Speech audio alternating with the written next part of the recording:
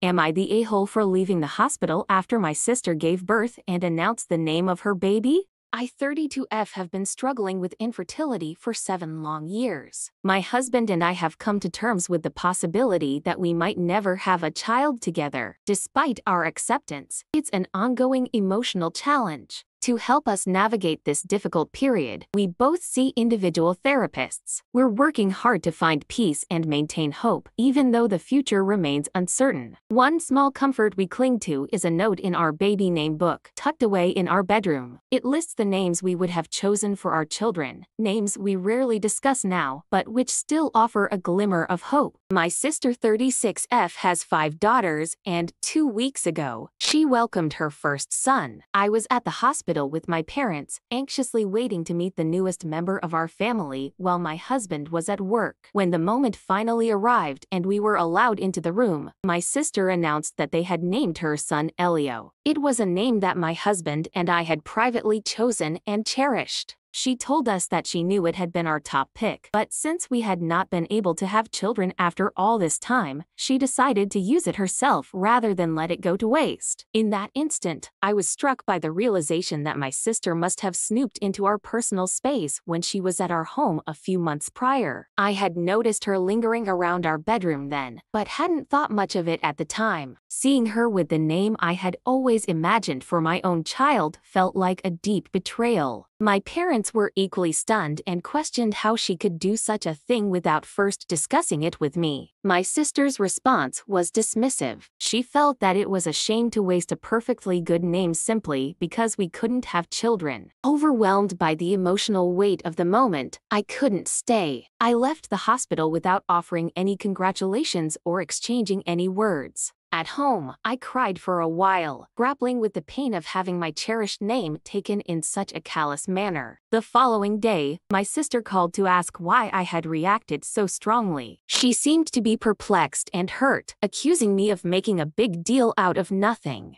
She also mentioned feeling hurt herself, claiming that I had never discussed our baby names with her and had been gatekeeping them, even though it was clear we would never use them. She called me sensitive, which only added to my distress. I ended the call abruptly, unable to continue the conversation. A couple of days later, my parents reached out to check on me. They have since advised me to let it go and apologize for walking out of the hospital. My sister has expressed that my actions during her postpartum period were selfish and hurtful. She believes I should make amends for my reaction. Given the situation, I'm left questioning whether I was in the wrong. I understand that emotions run high during such significant moments, but it feels like a fundamental boundary was crossed. Was my reaction justified, or was I indeed the a hole for how I handled the situation? Here are the top comments. Not the a hole. No one owns a name, but your sister did that on purpose. If I were to guess, I bet she has a history of trying to outdo you, outshine you, or just altogether steal your thunder. I truly hope you get to use your chosen name. After all, she doesn't own it either, and many families have multiple members who have the same name.